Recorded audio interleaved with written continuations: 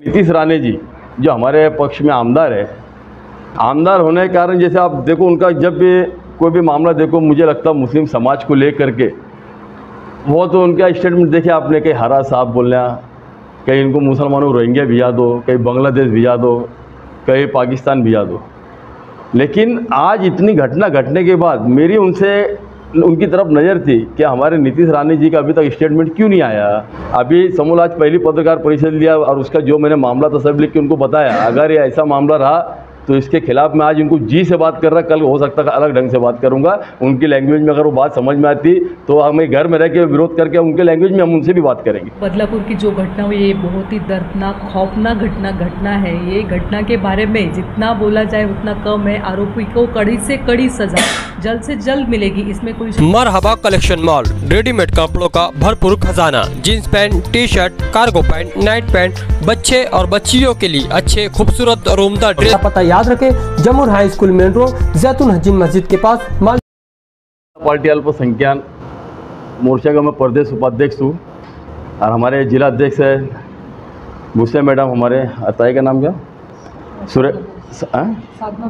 सामना ताई हमारे और मंडल अध्यक्ष हमारे जाबिर खान, इरफान भाई यानी मालेगांव शहर के अल्पसंख्यक समाज के हम सभी पदाधिकारी और बेसिक के भी हमारे बहन हमारे साथ में है जैसे कि आप लोग ने देखा है कि मामला जो जो आज महाराष्ट्र भर के अंदर और कलकत्ता के मामलों के जो नाबालिग बच्चों के साथ जो अत्याचार हो रहे हैं, और सब में शर्मनाक बात ये है कि जो शिक्षक है, अगर वो ऐसा काम करे तो मुझे लगता है कहाँ तक सही है। कलकत्ता का मामला थमा नहीं, उसके बाद हमारा बदलापुर का मामला आ गया। बदलापुर का थमता नहीं तो अकोला का आ गया। यानी महाराष्ट्र भर में आज चल क्या रहा है? और ना जाने ऐसे कितने स्कूलों के अंदर बच्चों, बच्चे लोगों के साथ अन्याय और अत्याचार हो रहा होगा। तो इसकी हम कड़ी निंदा करते हैं, इसका हम निषेध करते हैं। भारतीय जनता पार्टी अल्पसंख्यक समाज की तरफ़ से और मालेगांव शहर की हमारी आवाम की तरफ़ से। जो आज हालात महाराष्ट्र भर के अंदर बने हैं तो कहीं इसके अंदर सरकार को बदनाम करने का काम तो नहीं है।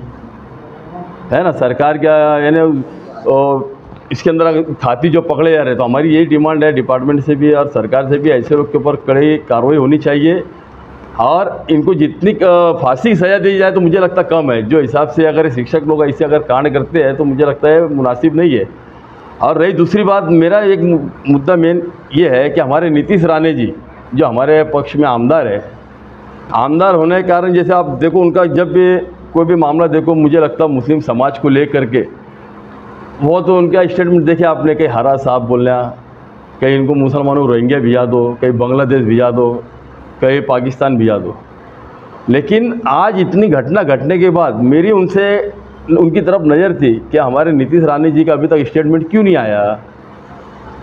अगर यही अगर कोई मुस्लिम समाज का मामला कोई रहता या कोई इसके अंदर कांड करा होता तो मुझे लगता ये देश भर में अंगार लगाने का काम कर डालते थे अभी तक। और हो सकता है, मुसलमानों को मार पीट के पाकिस्तान, बांग्लादेश भिजाने का भी काम करने में ये चुकते नहीं।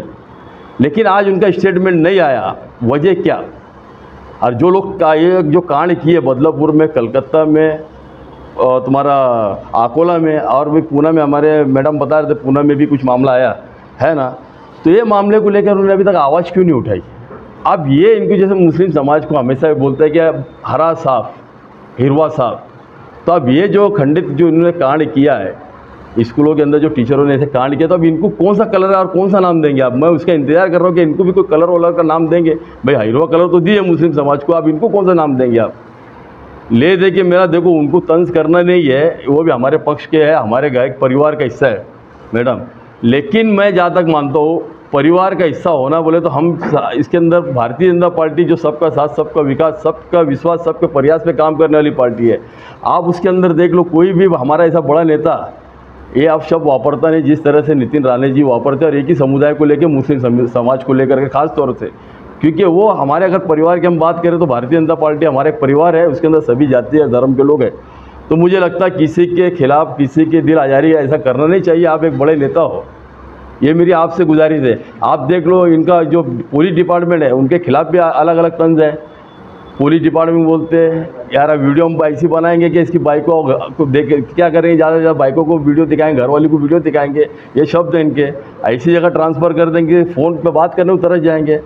जो डिपार्टमेंट हमारी रात दिन सुरक्षा करता है, हो सकता ना उसके अंदर कुछ ऑफिसर ऐसे खंड, जो हो सकते जो कुछ ऑफिसर इसके अंदर जो दोषी है, उस, ऐसा नहीं कि नहीं है, हो सकते आपके बोलने के हिसाब से। लेकिन अगर आप पूरे डिपार्टमेंट को, जो हमारे हिंदुस्तान की आन बान शान है, जो हम सोते हैं सुकून से डिपार्टमेंट हमारी सुरक्षा के लिए रात दिन एक करता है, किसी का भी जो, कोई भी समाज का त्यौहार वार हो, उसमें हमारे सब प्रोटेक्शन के लिए खड़ा है वो। और आप उनको ऐसा शब्द वापरेंगे तो मुझे लगता है ये गलत चीज़ है। और जब आप अगर ऐसे डिपार्टमेंट की इज़्ज़त नहीं करोगे तो मुझे ऐसा लगता, ये जो कांड हो रहे हैं जो लपड़े चढ़ रहे हैं, आज महाराष्ट्र भर के अंदर, इसके अंदर आप जो बोलते हो तो सेकुलर समाज जो है, मुझे लगता है वो भी आपको पसंद नहीं करता, मुस्लिम तो नहीं करता, लेकिन आपकी जो बाइट है जो आप जो ढंग से एक टारगेट बना के बात करते हो तो मुझे लगता है हिंदू समाज में जो सेकुलर लोग हैं, वो आपको पसंद नहीं करता, ये आपकी सोच है, ये समझ लो अच्छी तरीके से आप। आपको ऐसा लगता है, मैं बहुत अच्छा काम करूँ तो ऐसा नहीं है। जैसे एक कहावत है ना एक मैं बताता हूँ जैसे अगर लड़की मायके में है ना तो रानी रहती हो। रानी हो, माँ, बाप भाई, बहनों के सब की लाड़ की रहती हो, जो जीत करती पूरी होती। तो मुझे लगता है साहब, आप जो है, जिस पक्ष में थे और वो छोड़ के इसमें भारतीय जनता पार्टी में आए, मुझे लगता आप नए हो। मुझे आठ साल हो गया भारतीय जनता पार्टी में, आप मुझे लगता नए हो। पार्टी, भारतीय जनता पार्टी के संस्कार अलग है। तो उसी तरह से जब लड़की ससुराल से मायके में आती है, अपने मायके ससुराल में जाती है तो उसका मुझे लगता ससुराल के हिसाब से उसको अपना प्रोटोकॉल ससुराल का जो सिस्टम है, उसके अंदर उसको ढलना पड़ता है। ना कि वहाँ अपनी कोई दादागिरी चलती ससुराल के हिसाब से उसको रहना है। तो उसी तरह से मेरा एक आपसे गुजारिश है, विनंती है, आप भारतीय जनता पार्टी के एक बड़े नेता हुआ, एक बड़े नेता की गिनती में आप गिने जाते हो। तो मुझे लगता है, आप शब्द वापरना, मुझे लगता है अच्छी बात नहीं है। अगर आपको बड़े बनना है तो बहुत सारे काम है। भारतीय जनता पार्टी ने हमारे इतने काम किए, इतनी योजनाएँ दी, इतना लाभ दिया हर समाज, जाति को। अगर आप उसके ऊपर बात करेंगे तो मुझे लगता है बेहतर होगा और हमारा पक्ष आगे बढ़ेगा। ये भेदभाव वाला जो आपको जो मामला है, मुझे लगता है ख़त्म करना चाहिए। ये मेरी गुजारिश है, सरकार से भी विनंती है क्या भैया हमारे अगर ये लीडर ऐसे आप शब्द वापरते हैं तो हमको सबका साथ, सबका विकास, सबका विश्वास, सबके प्रयास में हमारी पार्टी काम करने वाली है। तो मुझे लगता है इन्होंने इस बात के ऊपर गौर और फ़िक्र करना चाहिए कहीं ऐसा तो ना हो इनके आप शब्द की वजह से हमारी पार्टी को कहीं बड़ा नुकसान ना हो। नीतीश राणे को देवेंद्र फडणवीस साहब ने खुली छूट दी आपको नहीं लगता ये बात? देखो छूट किसी को अगर कोई किसी को छूट वूट देता नहीं लेकिन इसके ऊपर रोक लगना चाहिए। अगर ये बेफाम बेलगाम घोड़े की तरह अगर शब्द वापर रहे तीर चला रहे तो मुझे लगता फडणवीस जी ने भी हमारे गृह मंत्री आज यहाँ की जवाबदारी उनके पास है उन्होंने भी इनके ऊपर ध्यान देना चाहिए और उनको कहीं ना कहीं रोकना चाहिए कि आप जो कर रहे हैं गलत कर रहे हैं। आप अल्पसंख्यक के अध्यक्ष महाराष्ट्र को उपाध्यक्ष हूँ। महाराष्ट्र के नीतीश राणे जब जब मालेगांव आए यहाँ के मुसलमानों को टारगेट किया बांग्लादेशी बताया अभी आप खुद बता रहे हैं कि हर साहब भी बोला। आपने कभी इसके ऊपर आवाज़ नहीं उठाई? देखो ये क्या चीज़ है मालूम है कि जब पूरा शहर आवाज़ उठा रहा है उसको मामले में लेकिन लेकिन अब क्या हो गया? ये अब सर के बाहर हो गया। अब क्या हो गया हमको भी समाज में रहना है। हम जो पक्ष में काम कर रहे ज़ाहिर सी बात हम सभी समाज, सभी धर्म के लोग इसके अंदर है। अगर ये जब ऐसे शब्द वापर तो अब हमको भी मालेगांव शहर, हमारा मुझे लगता दुनिया में ऐसा शहर है हसास शहर माना जाता अगर कोई मामला होता तो यहाँ कोई भी मामले को लेकर बहुत जल्दी अंगार लग जाती बोलने मतलब वातावरण ख़राब हो जाता मालेगांव शहर में। अब लोग भी हमको बोलने लगे कि भाई आप जो पार्टी में काम करो और आपकी पार्टी के अंदर लोग अगर ऐसा मुस्लिम समाज को बोलते हैं तो कहाँ तक सही है? तो यार हमारे अंदर भी कुछ इंसानियत और वो है ना। हिस है ना तो हम आज मजबूरन हमको बोलना पड़ा, क्योंकि आज हमारे पार्टी के खिलाफ अगर हम वोट, हमारे लीडर के खिलाफ, नेता के खिलाफ अगर हम वोट है हमारे पक्ष के तो यार कहीं ना कहीं हमको भी सोचने का मुकाम है यार। मैं तो ये बोलना चाहता कि भाई हमारे जो अल्पसंख्यक के हमारे वरिष्ठ नेता जो है, जो तुम्हारे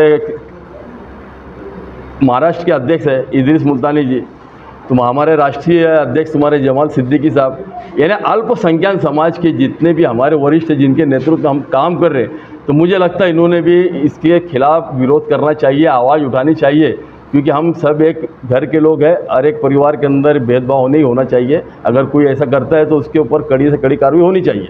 नीतीश राणे हमेशा इसी बोलते रहते और अगर आगे भी बोलते रहे तो आप क्या करेंगे? नहीं आगे भी बोलेंगे तो इससे खतरनाक बोलूँगा। आज मैं पार्टी में है। पा-? नहीं तो अरे नहीं अरे उस पर कोई कार्रवाई की मांग करेंगे। कार्रवाई की मांग तो अभी भी कर रहा मैं। अगर ये नहीं शुरू तो इनके ऊपर कार्रवाई करो। और अगर पार्टी कार्रवाई नहीं करती है तो? तो आगे देखेंगे ना। नहीं इस्तीफा देखो, पार्टी हमारी एक नंबर है। मैं क्या बोला, पार्टी का कोई दोस्त नहीं है। भारतीय जनता पार्टी में क्या बताया, इसने देखो, भेदभाव वाली पॉलिसी नहीं है। अगर जितनी भी योजना निकाली हो, सभी समाज, सभी धर्म के लोगों की योजना एक नज़र से देखने के भारतीय जनता पार्टी ने दी। हमारी पार्टी का कोई विषय नहीं है। पार्टी एक नंबर है। कोई रहो, नहीं रहो, भारतीय जनता पार्टी में हम रहेंगे। ये इसमें दो राय नहीं है। हाँ लेकिन अगर कोई हमारे खिलाफ हमारे समाज के खिलाफ अल्पसंख्यक समाज के खिलाफ मुस्लिम समाज के खिलाफ अगर कोई बोलता है तो उसका विरोध भी हम ज़रूर करेंगे। इस बारे में आपने ऊपर बीजेपी के बड़े बात की तो मैंने बात किया ऊपर कि ये कहाँ तक सही है? मैंने हमारे जो नेता है वरिष्ठ उनसे हमने बात की है। अभी समूल आज पहली पत्रकार परिषद लिया और उसका जो मैंने मामला सब लिख के उनको बताया। अगर ये ऐसा मामला रहा तो इसके खिलाफ मैं आज इनको जी से बात कर रहा कल हो सकता है अलग ढंग से बात करूँगा। उनकी लैंग्वेज में अगर वो बात समझ में आती तो हमें घर में रह के विरोध करके उनके लैंग्वेज में हम उनसे भी बात करेंगे। ऊपर से आपको क्या जवाब ऊपर और नीचे की बात नहीं है। हमारे लोगों से हम जो हमारे वरिष्ठ हमसे बात जो होना थी हमने किए अब ये करने के बाद हमको इसका रिज़ल्ट क्या आता? है रिज़ल्ट आने के बाद अगर उसके बाद हमको रिज़ल्ट नहीं मिलता तो ज़ाहिर सी बात आज प्यार से बात करो कल जैसे उनके शब्द है उनके शब्द में जवाब दूँगा मैं। तो बदलापुर की जो घटना हुई, ये बहुत ही दर्दनाक, खौफनाक घटना घटना है। ये घटना के बारे में जितना बोला जाए, उतना कम है। आरोपी को कड़ी से कड़ी सज़ा, जल्द से जल्द मिलेगी, इसमें कोई शंका नहीं है। और जो है, अभी ये ये घटना अलग और अभी जो सरकार को बे वजह बदनाम करने का काम हुआ है, ये बात का बहुत ज़्यादा दुख हमको हो रहा है, क्योंकि आज इतनी सारी यंत्रणा लगा के भी सरकार जैसे भी ये बात खबर जैसे पहुँची है, वहाँ से खुद फडणवीस साहब ने वो परिवार की दखल ली है और उनके दुख में शामिल हुए शामिल हुए तो भी आज उंगली उठाने को लोग तैयार हुए इस बात का हमको बहुत सारा अ, मतलब खराब लग रहा है ये। ऐसी घटना जब भी होती है तो सब तरफ़ से जो है इसकी इस पर निषेध किया जाता है। Yes. लेकिन उसके बाद जो है ये घटना रुकने का नाम नहीं ले रही है अभी कई तरफ़ से भी के लाडली बहन स्कीम नहीं चाहिए हमको सुरक्षा चाहिए। भैया देखो लाडली? बहना स्कीम इसकी वजह से दी है कि महिलाओं का इधर इसमें विचार किया गया है महिला को कहा तो कुछ तो भी एक आर्थिक जो अपना आर्थिक सक्षम करने की बा- जो बा ये है अ, जवाबदारी सरकार ने यहाँ पे निभाई है। आज पंद्रह सौ रुपये बोले तो बहुत छोटी रकम नहीं है। पंद्रह सौ रुपये बोले तो एक गरीब का घर इस पर धक जाएगा। ऐसे आज तीन हज़ार रुपये तीन तीन हज़ार रुपये हर एक महिला सरकार ने तो कहीं मतलब हिंदू, मुस्लिम ऐसे भेदभाव नहीं किया है। और जहाँ जाके खाली आज ये वो, ये क्या बोलते तो यहाँ पे जो है वो हम तो निषेध कर ही रहे पर वो लाडली बहना और ये दोनों टॉपिक अलग है। और आप लाडली बहना का यहाँ पे क्यों मतलब आ, कल आंदोलन में लाडली बहना की वजह से वो हाँ, लाडली बहना योजना बंद करा वगैरह ऐसे ऐसे आंदोलन में बोला गया ये बात तो सही में गलत है? वो घटना हुई है उसके बारे में आप सरकार से पूछो सरकार से क्या क्या मदद लग रही वो लो आरोपी आरोपी को अपन जल्द से जल्द सजा देंगे। ये बात यहाँ तक सही है पर लाडली बहना योजना बंद करो। ये बात कहाँ तक सही है? नहीं, नहीं, लाडली बहना बंद करो का नहीं है? कि हम्म। तुम जैसे लाडली बहना ये दे रहे हम्म। आज महिला सुरक्षित नहीं है। हम्म। तो इसीलिए वो कह रहे हैं कि हमको लाडली बहना की इतनी ज़रूरत नहीं है जितनी हमारी सुरक्षा सुरक्षा हर सरकार ने सुरक्षा दे ही चुकी है पर महिला है महिला भी थोड़ी आज छोटी बच्चे है, इसलिए वो उसका उसका प्रतिकार विरोध नहीं कर सकी, पर जहाँ तक अभी कल पत्रकार बहन ने अपनी कोई उसको, उसके उसके ऊपर भी किसी ने कि ये किया कि तेरे ऊपर अत्याचार हुआ है कि वगैरह, ऐसा किया तो वो उसकी, वो एज में है, वो तो खुद प्रतिकार कर सकती है। यहाँ पे जो संस्था चालक है, उस पर भी कड़ी कड़ी से कड़ी कार्रवाई होगी और वो जो आरोपी है, उसको भी जल्द से जल्द फांसी की सज़ा होगी, ये तय है।